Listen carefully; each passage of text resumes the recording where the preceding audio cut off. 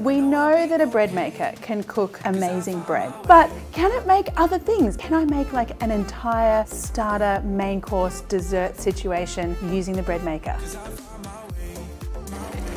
Oh, okay. Look at that, we made butter. Oh my goodness, I'm so excited. Why don't we see if the bread maker can do like a slow braise?